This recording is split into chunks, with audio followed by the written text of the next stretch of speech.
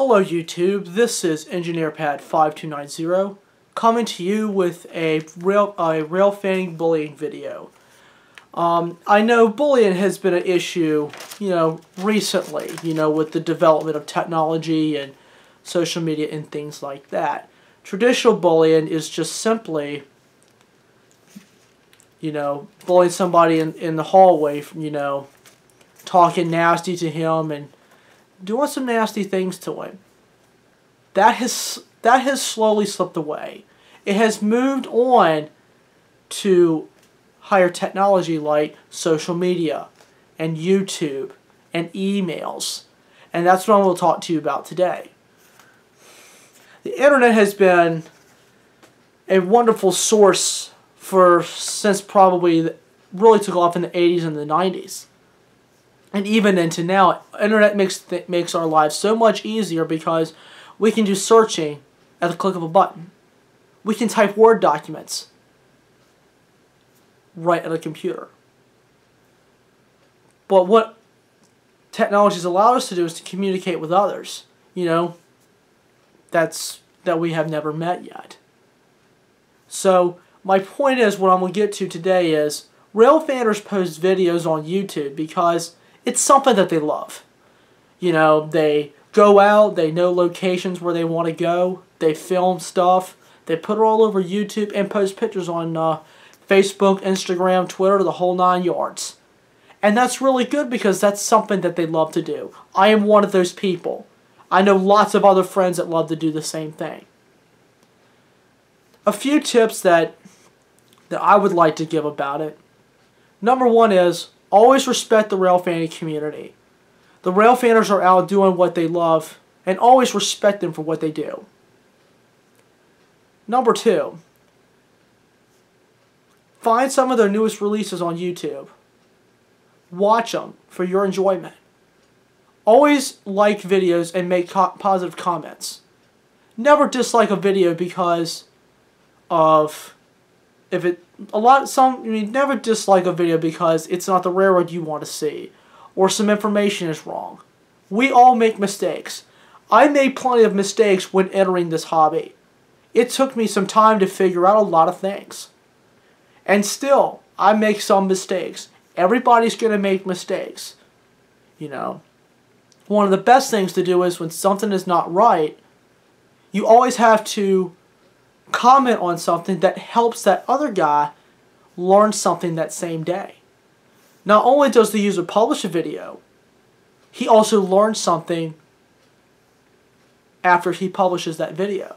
So it's basically a win-win. I mean, you're trying to eh, trying to explain something. If something is not right, somebody can fill in for you.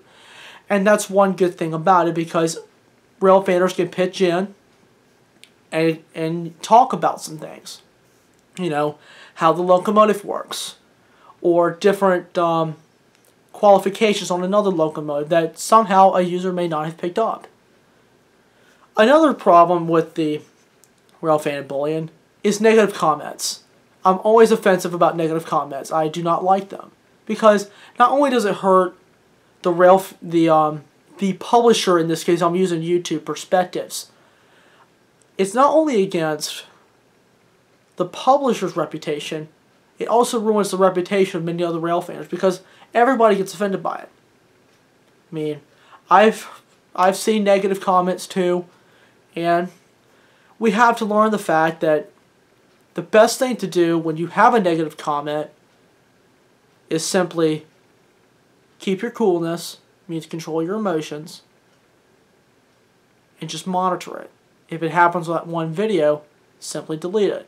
If somebody gives you a hard time, you block them. Not only is it for your safety, it's also for maybe your other viewer's perspective because they may change their own opinion about your channel or somebody else. And that's some of the precautions that we must take. The internet can be fun and interesting, but dangerous at the same time. And that's why I'm presenting these facts. We have to keep everyone safe on the internet. We can make it fun by commenting very positively, or we can make it all negative and ruin the experience for everyone else. It all depends on the example that we set. Because when you go out in public, or when you sit when you sit at the table and eat, you are setting a first impression. What do I mean by first impression? This example theory will relate back to the internet in just a minute or two. One um, first impression is the way you greet yourself, the way you talk to people, the way you look at them in the eye and shake hands, or what you say on the internet. People are judging you by the first time they see you, whether, like I said, looking at them and shaking hands, the manners you use at the table, and or what you say about somebody else's things on social media. So, just take about these things when you when you go on someone's YouTube channel or social media page. Remember these tips. Number 1, always go in with interest. Always go in with some enthusiasm when you're getting ready to watch someone's video. Number 2, always like a video even if it's even if it's not what you expect, you have to always give it a like because that shows the publisher that he did his very best. Number three, never dislike someone's video. Even if it's some of the information is wrong or somebody gets too hype, that should not never present never lose the fact that somebody took the time and published a video. You should always give them some credit there. Number four, encourage good comments. Remind them of a good job that they've done. And also, encourage some of your other friends to subscribe to, to their channels. Always give them shout outs. That lets them know, hey, this guy's doing great work.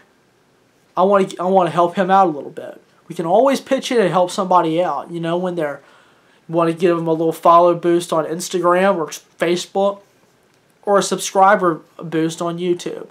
It's exactly the same thing. And being helpful is part of setting a good example, is helping others. Whether if it's helping somebody get to the car, or putting the groceries in the car, or helping somebody on the internet.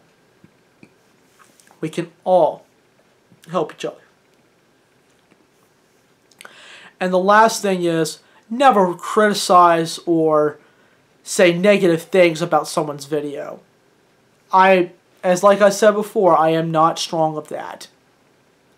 Um, it hurts the reputation of rail fanners and and the rail fan and uh, the publisher's uh, reputation as well. So I know some rail fanners wear vests when they are out by the tracks. I know some railroad employees are not fond of that. And I can understand where they're coming from. But some of these rail fanners they wear it because they promote safety. And that's and that's a really good positive thought there. I am a strong supporter of safety. Uh, I believe in safe rail fanning. I believe in safe work on the job site. I believe in safety, period. So, and even the rail fan, I mean, um, the railroad workers are strongly encouraged by safety because that's part of the regulations that they have is they have to abide the safety rules according to OSHA specs.